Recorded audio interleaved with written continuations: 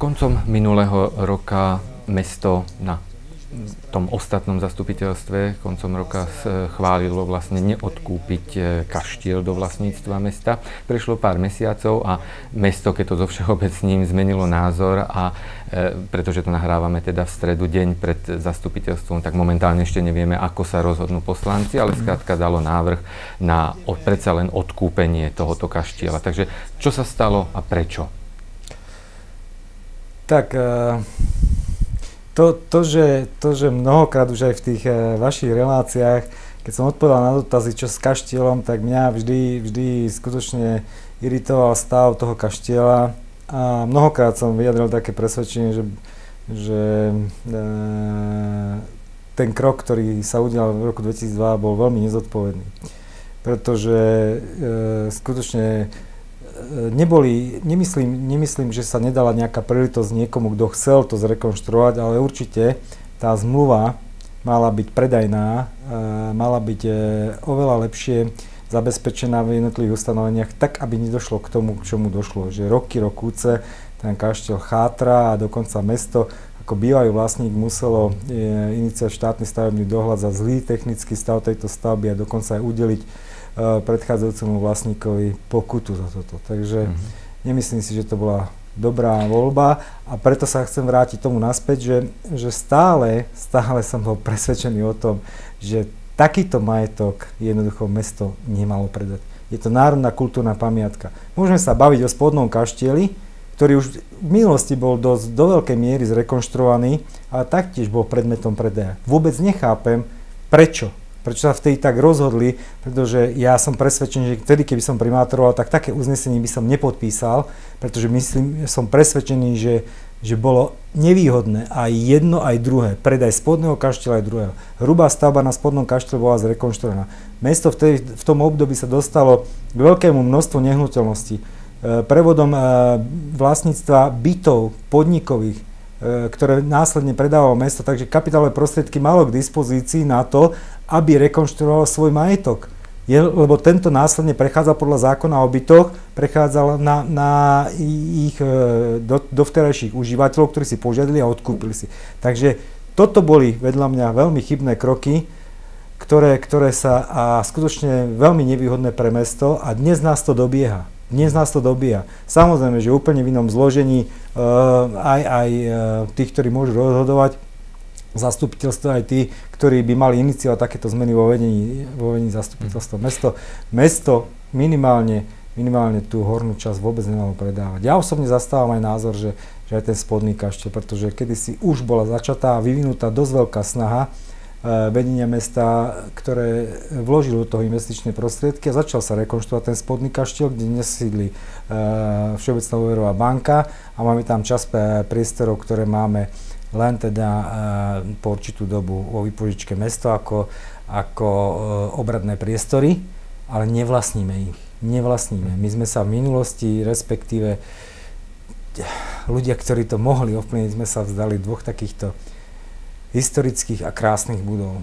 A mhm. nedokážem to ja pochopiť, e, aký bol hlavný, hlavný, mm. hlavný motiv. Skúsme, lebo stále sa tu, no. myslím, roky, e, roky hovorí o kaštieli, teraz samozrejme o Hornom budeme rozprávať. Skúsme e, len tak narýchlo zrekapitulovať e, od 74., pretože ten kaštiel prešiel mnohými rukami. Tak no. keby ste to mohli tak nejak chronologicky, že kto to všetko už mal a čo vlastne tam spravil, respektíve nespravil až do dnešných dní. A budeme samozrejme potom pokračovať ďalej teda mestom a odkúpením. Áno, túto kultúrnu kultúrnu pamiatku vlastnil, vlastnil štát.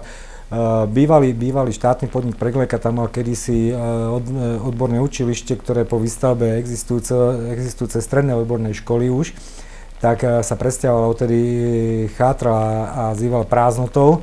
A, takže bol to majetok štátu ako národná kultúrna pamiatka. A s tým, že, že táto národná kultúrna pamiatka následne prešla do, štátne, do, vla, do správy štátnej inštitúcie, bol, to uh, inštitúcia, ktorá sídla v Litovskom Mikuláši, bola to inštitúcia, ktorá má na starosti historické pamiatky, muzejníctvo a, a jaskyniarstvo. A táto inštitúcia následne teda prevedla do majetku mesta uh, tento kaštiel. Tento kaštiel bol prevedený do majetku mesta, s tým, e, pokiaľ si pamätám, za toľko bol e, kúpený, aj keď v tej dobe bol vypracovaný znalecký posudok a mesto tento kaštiel naviedlo do majetku v tej dobe za 730 tisíc. Korún. Korún, áno. V tej dobe. To znamená, že, že následne potom, teda e, keď toto mesto získalo do svojho majetku, tak následne, následne uh, došlo k tomu, že prejavil záujem dotyčný nejaký žiadateľ s tým, že teda uh, to bolo predostreté zastupiteľstvu, že mesto nemá peniaze a uh, v tom prípade jednoducho mesto, že by to odpredalo za veľmi výhodných podmienok vlastne za čo, to, za čo to obstaralo, za čo sa to dostalo do majetku. Ale hodnota majetku bola neporovnateľne vyššia, pretože ako hovorím, ten znalecký posúdok a navedené to bolo do, do majetku mesta v sume 730 tisíc vtedajších mm. slovenských uh, korún. Hej? To, znamená, to znamená, že takýto majetok mesto malo od štátnej inštitúcii a, a to mesto ho predalo uh, za 120 tisíc s tým, že, že uh, dotyčný žiadateľ zrekonštruuje túto kultúrnu pamiatku. A toto ustanovenie, ktoré bolo, ktoré bolo doplňujúcim uznesením, sa absolútne neobjavilo v tej kupno-predajnej zmluve. To znamená, že to mesto, lebo e, uznesenie zastupiteľstva bol, bol poverené vedenie mesta, vypracujem konkrétnej zmluvy, schvália sa táto kúpna cena a aký účel ale absolútne v tejto zmluve neboli ukotve, e, zakotvené také ustanovenia, ktoré by oprávňovali mesto nadobnúť tento majetok späť, pokiaľ by sa nezrealizoval zámer. To znamená, že, že neviem, neviem, čo si o tom niekto myslí, kto trošku sa vyzná uh, v takýchto uh, právnych záležitostiach, ako sú kúpno predané zmluvy a podobne, ale jednoznačne nemyslím si, že pokiaľ ja uh, deklarujem poctivé úmysel, že to zrekonštruujem a preto to kupujem, tak nemám problém uh, aj také ustanovenie tam, tam strpiť v takej zmluve, že až by som to nezrealizoval, tak to vrátim, pretože skutočne mám úprimný úmysel to zrealizovať, nechcem len s tým špekulovať. No časom sa ukázalo, že ten pán, ktorý to kupoval, bol vyložený len špekulant, lebo takýchto nehnuteľností po Slovensku mám mnoho. Ale aby som nezdržiaval. Uh, ja keď som nastúpil, tak, tak tým, že ma trápil stav tej nehnuteľnosti, tak automaticky sme začali e, štátny stavebný dohľad, pretože zo zákona je povinný vlastne nehnuteľnosti udržiavať nehnuteľnosť v náležitom stave.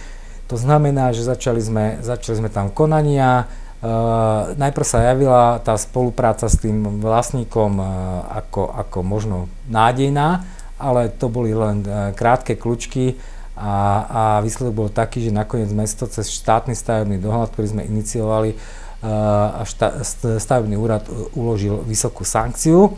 Táto sankcia, keď nebola uhradená, tak my sme vo veci začali hneď konať a my sme dali e, teda návrh na exekúciu, lenže tento majetok už bol obstavený exekútorom z, z, iného, z iného súdu, Uh, nie nášho vecne príslušného, s tým, že takto isto postupoval ten vlastník z nehnuteľnosti. Pokúpil nehnuteľnosti v niedobrom stave, ale samozrejme kultúrne pamiatky a hľadal na to, na to potenciálnych záujemcov. To znamená, že aby to bez akýchkoľvek investícií speňažil niekoľkonásobne.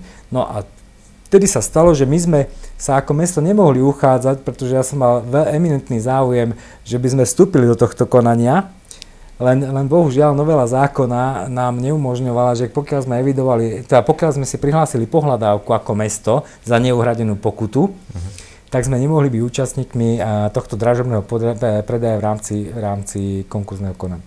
Takže e, moja snaha vtedy skončila na tom, e, že jednoducho som aspoň dosiahol, že tento človek to už nebude vlastne, respektíve tá firma, a e, vtedy to bolo odkúpené e, súčasnými vlastníkmi e, za tú vyvolávajúcu cenu, ktorá vtedy bola.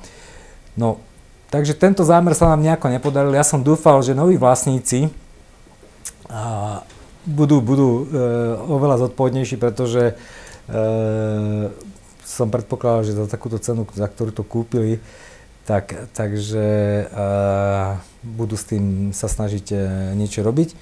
No ale ich možnosti, ale, ale aj to, ako, ako vlastne tí ľudia boli schopní zohnať nejaké finančné prostriedky a zároveň aj ich zamestnania, tak ako, ako mali predstavy, sa, sa menili postupom času, tak za prvé štrukt, dotačné grantové zdroje e, sa čím ďalej tým stávali nedostupnejšie. A, a samozrejme, že títo ľudia sú aj dosť teda vyťažení podľa aspoň tých posledných rokovaní s tými vlastníkmi, E, pretože oni to cez nejakých rodinných príbuzných sa snažili tu správovať a, a, a e, pre, e, komunikovať aj, aj s orgánmi štátnej správy, miestnej samozprávy v akomkoľvek správnom konaní. Takže to, títo ľudia nakoniec teda zistili, že, že táto nehnuteľnosť... To nezvládnu? Že to nezvládnu, lebo ja som ich teda opäť oslovil, a že čo s tým ďalej. No, tak samozrejme, že mali záujem teda sa takéto nehnuteľnosti zbaviť, respektíve predať. A ponúkli nám tie dve ceny. Jedna bola oficiálne na, na, na portáli nehnuteľnosti SK a druhá bola taká, ktorá teda aj e, hovorili, že, si, že, že teda keď nebude toľko, čo je na portáli, tak minimálne táto cena, ktorá bola tá najnižšia, tak ponúkali nám. My sme, my sme preto nezareagovali na tú, na tú e, prvú ponuku. To už sa rozprávame o tom minulom zastupiteľstve. O tom minulom zastupiteľstve, roku. áno. Preto sme nezareagovali, pretože tá ponuka sa hovorila o tej spodnej hranici tých 158 tisíc, pretože, pretože e, by sme boli jediní záujemcovia podľa všetkého a nevideli sme dôvod, prečo, e, prečo takáto vysoká suma, tak potom nastali nejaké, nejaké rokovania, kde, kde či už e, poverení ľudia týmito vlastníkmi alebo, alebo priamo vlastník sa zúčastnil na, na niektorých e, stretnutiach pracovných, konkrétne aj so mnou, kde ja som mu hm, interpretoval názory alebo, alebo to, tie, tie dôvody, prečo sa zastupiteľstvo rozhodlo neschváliť tú ponuku v takej cene, No tak samozrejme našli sme niekde nejakú spoločnú reč s tým, že, že ich teda posledný návrh e, bol taký, že, tých 145 tisíc, aj keď teda, že by teda pre, e, prerušili nejaké rokovania s posledným záujemcom, ktorý, ktorý už e, dvakrát absolvoval obliadku tejto nehnuteľnosti. Takže, takže toto je taká chronológia a tým, že, sme, že sa to tedy neschválilo a naďalej, teda ja som bol poverný rokovať, tak teda sa vyrok, vyrokovala teda takáto cena, tých 145 tisíc, s tým, že uh, treba povedať, že táto cena už, uh, už uh, možno korešponduje s tým, uh, aké mali predstavy súčasní vlastníci o cene toho, čo nadobudli. E, samozrejme, že aj so započítanými nejakými investíciami, pretože e, mnohokrát aj v novinách, sa, aj v pluske, to, to proste, to sú, e, človek poskytne nejaké informácie, ale to je, to je zázračné, čo dokáže z toho novinári vyrobiť, hej, že z toho vám rozum zastane a tak ďalej a podobne ako keby vôbec neakceptovali to, čo, že, že, že tu kedysi v minulosti, sa stalo niečo, čo ja nedokážem pochopiť, keď mám niečo navedené do majetku a dostanem to za, aj keď za 120 tisíc, ale má to hodnotu 730, prečo by som to predával za 120? A tak asi je to jednoduchšie, aspoň sa o to netreba starať a, a spraviť tú robotu niekto, niekto iný za nás, ale výsledok môže byť taký, ako je. A to chcem hovoriť, že tie médiá, no neskutočne, ja keď poskytne informáciu, že, že a, a možno tak ako vám, že aj, aj možno ten, ten sled tých udalostí v minulosti ako, a prečo sa niektoré veci udiali a, a, a ako, tak, tak oni si niektorí vyťahnú len z toho, čo ich zaujíma a hneď z toho spravia bombu ako žarnovica ide k šeftu a, a kde rozum zastane, že niekde za 4 tisíc, áno. Tak sa treba opýtať a nie takto to zverejniť a ne, netreba sa pýtať mňa. Možno sa treba opýtať tých, ktorí vtedy o tom rozhodovali a to som nebol ja. Ja sa snažím, snažím, odkedy som tu, uh, zachrániť túto kultúrnu pamiatku najprv uh, slušnou komunikáciou, pokiaľ sa dá, pokiaľ to neplatilo, tak, tak skutočne vyrubením vysokých pokut, aby, aby boli donútení niečo robiť, respektíve predať. A, a pokiaľ sa dá, tak možno takto, takto, takto uh, sa dohodnúť a, a výsledok je taký, že návrh do zastupiteľstva pôjde niekde na sumu 140 5000 s tým, že teda všetky podklady, ktoré sú k dispozícii a majú súčasní vlastníci, či už teda nejakého zámeru projektového s touto, s touto nehnuteľnosťou, to, čo už mali odkomunikované s pamiatkovým úradom, aké, ako, v akom rozsahu bola, rež, e, ako, v akom rozsahu bol spravený výskum archeologický, reštaurátorský, aby znovu sme nemuseli ako noví vlastníci dokladovať pamiatkovému úradu, lebo oni vás ďalej nepustia, pokiaľ tieto veci by sme ako vlastníci nemali. To znamená, že aj to sú peniaze, aj to sú e, veľmi dôležité veci, ktoré oni si museli zabezpečovať ako dočasní vlastníci. To, že museli v prvom rade zafixovať a zastabilizovať ten, ten oporný múr, aby, ďalš, aby hlavná stavba e, sa staticky nenarušila. To znamená, že takéto výdavky, ktoré mali s tým spojené, plus teda kúpna cena um, tohto objektu, ja stále si myslím, že je tam stále rozdiel e, podľa mojich predstav, keď to napočítame, ale stále oni sú vlastníci a, a Mm, oni, oni sú teda jedna zo zmluvných strán. My to chceme, ale oni to musia akceptovať. Dobre, uh, ja poviem, keď niekto povie, že, že stále, keby ste to napočítali, stále tam rozdiel možno nejakých 20-30 tisíc. Ale poviem tak, že, že dá, sa, dá sa história nejako oceniť. Má nejakú cenu, no skutočne má, ale nevyčísliteľnú má, ale nevyčísliteľnú. A to, že si to v minulosti nikto neuvedomal, ja za to nemôžem, ale ja si to uvedomujem v plnej miere. Preto hovorím, že nemá význam naďalej sa tváriť, že toto je drahé, keď sa to nepredá a potom znovu absolvovať celý ten proces, ktorý nám trval e, s tými predchádzajúcimi vlastníkmi e, pomaly 6 rokov, pokiaľ sme ich uhnali cez sankcie, cez e, štátne stavebné dohľady, uvalili pokutu, ktorú aj tak nikdy nezaplatili, a, a, a, a znovu by sme takto e, strácali čas v neprospech tejto národnej kultúrnej pamiatky možno 6 rokov. Tí sa budú odvolávať na, na odvolací orgán, eventuálne na súdne preskúmanie. Viete, dneska je toľko opravných prostriedkov možných v tejto republike, že, že dotedy by sa tu naťahovali, pokiaľ by nespadne. nám to nespadlo a potom, potom by som chcel vidieť všetkých tých, aj, aj z tých médií, zase na tie bombastické články. Nevadí to ľuďom v Žarnovici a vadí to tým ľuďom, pretože ja som, ja som aj kvôli tomu, aby si aj z poslancov nikto nemyslel, že, že to je nejaká moja predstava, pretože ja o tom hovorím skutočne veľmi dávno, od, odtedy ako som nastúpil do funkcie. Ale ja som po, potom aj hovoril, že skúsme teda, skúsme teda možno aj tých ľudí sa pýtať. Preto, preto sa tá e, iniciovala tá anketa, že nech sa tí ľudia vyjadria. Áno, oni presne to isté hovoria, že, že malo by sa mesto o to postarať. Je to naša história. Hej, a, a ako keby sme si to ani nevážili. Všetci hovoria, je to, je to suma, ktorá, ktorá je teda premrštená, ale malo by to mesto. E, pretože taktiež v podstate zrejme asi, asi majú k tomu rovnaký postoj. A myslím si, že možno nejakých 10% tam v tej ankete na to nezareagovalo, alebo teda nechávali to na, nejaký, na nejaké iné riešenie, ktoré, hm. ktoré zase by bolo možno v nedohľadne. A toto... Ja osobne sa domnievam, že, že aj táto nehnuteľnosť, bohužiaľ, takto ako, ako uh, je k dispozícii dneska, tak je veľmi, veľmi alebo teda nie až tak zaujímavá tým, že teda je v ochrannom režime je to národná kultúrna, kultúrna pamiatka ako objekt vhodný na nejaký podnikateľský projekt. Hej. Preto ja si myslím, že už keby to bolo vhodné, tak už by dávno to zmenilo nejakého majiteľa. A najviac, čo ešte musím uh, dopovedať, uh, že v minulosti sa ešte kus pozemku, ktorý patril k tejto nehnuteľnosti, predal Zvlášť. Zvlášť samozrejme a niektorí, ktorí to poznajú, takže keď idú popri obradnej miestnosti, ktorá nie je naša, my sme tam len na milosť e, a teda na nejakú zmluvnú dohodu súčasného vlastníka, takže ideme hore popri tejto obradnej miestnosti, respektíve popri spodnom kaštieli. A keď niekto to, čo vidí tam ohradené, kus toho hradobného múru, alebo teda e, oporného múru po pravej strane, ktorý je oplotený, tak to bolo kedysi taktiež majetko mesta.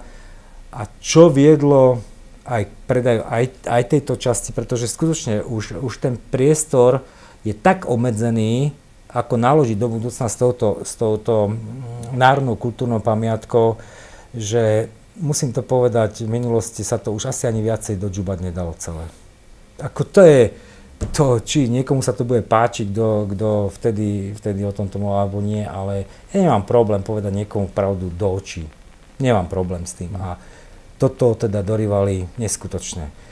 Takto, takto sa naložilo s národnou kultúrnou pamiatkou a ešte aj tú pridanú hodnotu, ktorú mala aspoň teda s tým priestorovým zázemím, tak ešte aj to sme úplne zlikvidovali. Takže tomu je veľmi minimálny pozemok, je to nejaká prejazdná cesta k tým nehnuteľnostiam, na, na nejakú statickú, dynamickú dopravu, veľké, veľké výhľady tam nie sú, takže uvidím, čo s tým budeme robiť, ale cez to všetko si hovorím, že, že musíme sa s tým porievať, veď ja som tu mimo iné od toho, aby, aby toto mesto dbalo možno aj na to, čo nám tu zanechali a, a doteraz sme sa nevedeli o to postarať. A nie len o tie bežné veci, ktoré tu koľkokrát rozdebatovávame spolu.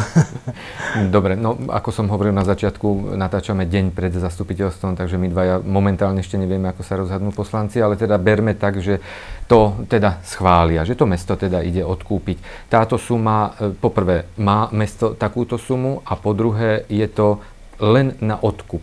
A, ale čo ďalej s tým kaštielom? A no, za čo hlavne, teda myslím finančne teraz?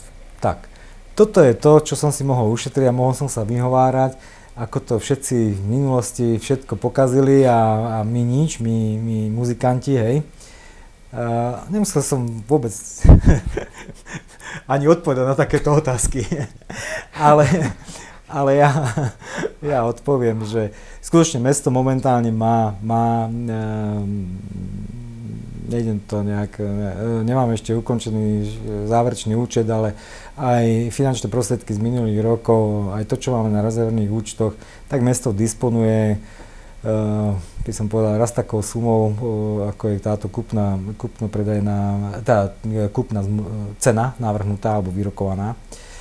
Takže, ale samozrejme, že treba mať aj nejaký rezervný fond, pretože kvôli kaštelu tu nesmie zastať život a niekedy aby nás zase nezaskočili nejaké trošku zvýšené vody alebo ja neviem čo ešte, nejaký možno spadnutý most.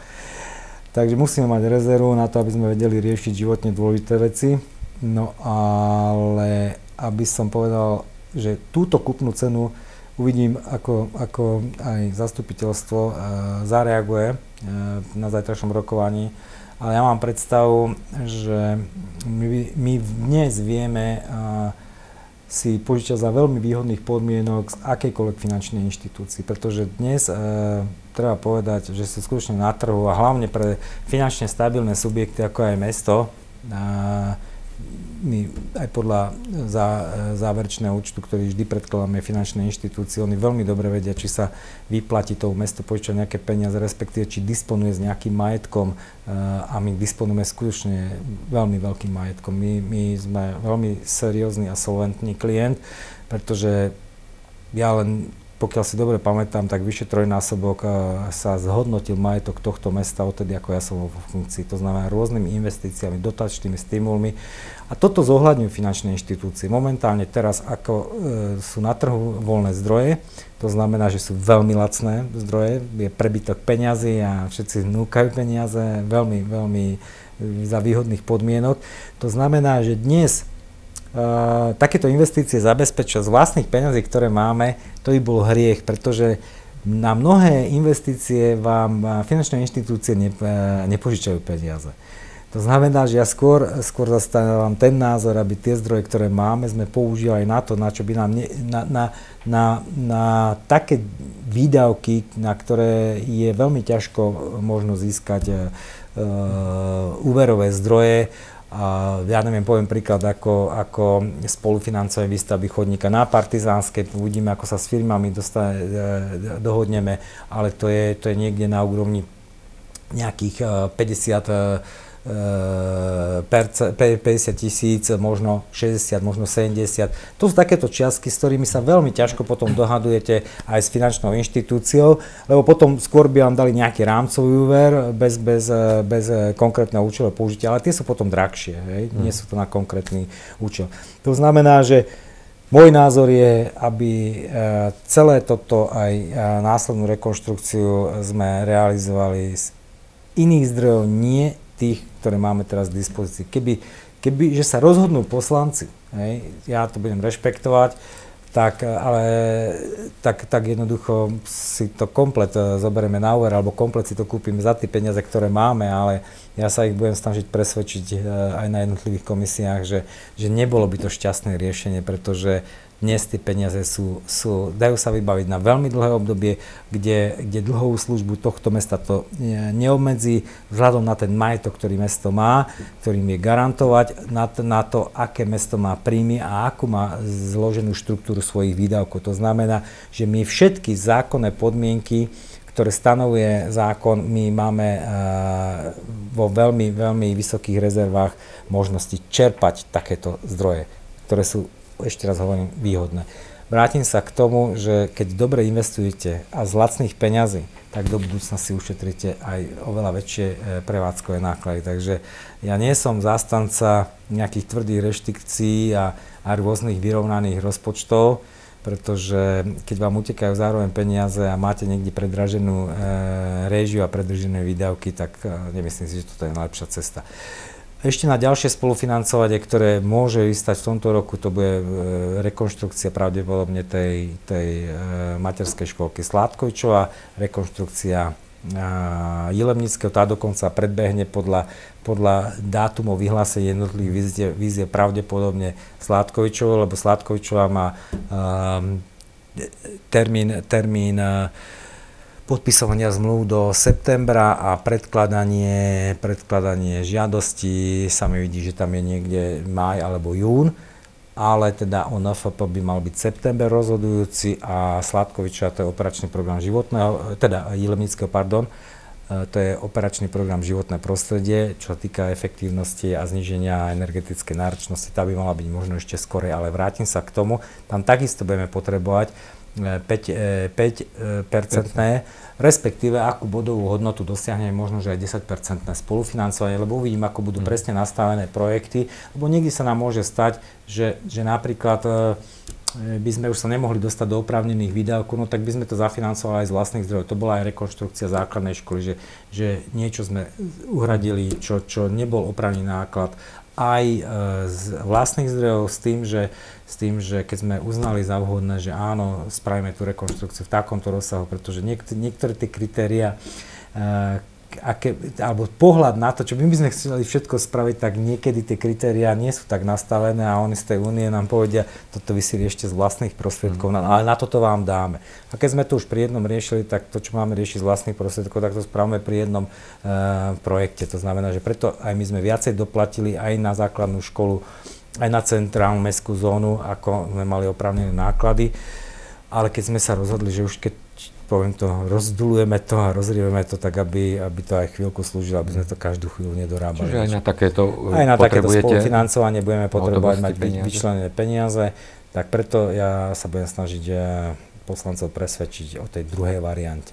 Mhm. Samozrejme, prebehli, prebehli už aj nejaké prvotné rokovania, a, takže s tou finančnou inštitúciou, ktorej v minulosti sme mali skúsenosti veľmi dobre a oni s nami takisto veľmi dobre, pretože oni veľmi mm. dobre sledujú ja, uh, náš naše, rating. Na, na, náš rating a ako sme na tom finančne. A, tak nám veľmi radi, hej, požičajú. Veľmi radi a dokonca, dokonca také kombinácie úverov, čo ešte som v živote nepočul, čo sú schopní zniesť a, a, a čo, čo prolongovať, dokonca, dokonca e, na, oni už vedia nastaviť, nastaviť aj tú, tú finančnú našu službu dlhovú tak ako, ako my by sme chceli, buď bude buď rastovo alebo opačne, to znamená, že to je, to je ako úžas, čo dneska sú ochotní akceptovať, aby umiestnili niekde tie peniaze, ktoré majú k dispozícii. Takže toľko, neviem, neviem, či som na niečo nezabudol, čo ste sa ešte pýtal, skúste ešte. Nie, nezabudol, len samozrejme my nevieme. Diváci už v tejto chvíli, keď to pozerajú cez víkend, tak vedia, ako to dopadlo, myslím, s poslancami, či teda mesto kupuje alebo nie, no a my teda už budeme len čakať.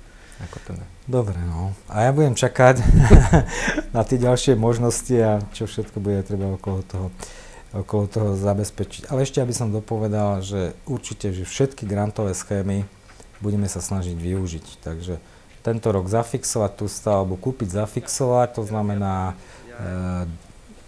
byť ako reálny vlastník e, na, na správe katastra tejto nehnuteľnosti, strešný pláž a odvedenie e, vlhkosti vôd z, tohto, z, tohto, z tejto celej nehnuteľnosti. To by bola taká základná vec a, a potom už, už by sme mali čas vypracovať nejaký, nejaký veľmi slušný projekt, projektový zámer a potom sa baviť e, a medzi tým samozrejme sledovať všetky grantové schémy, ktoré budú.